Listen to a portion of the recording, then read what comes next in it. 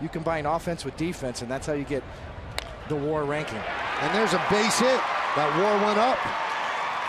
Scoring is Cervelli. Jeter moves to second. RBI single for Granderson. And the Yankees have cut the Rangers' lead in half. It's now four to two. And you're right. His WAR ranking does go up here. Nice hitting. Out over the plate, trying to pull the ball again. Finds the hole. Another RBI for Curtis Granderson and another big inning set up. As you see, Curtis Granderson.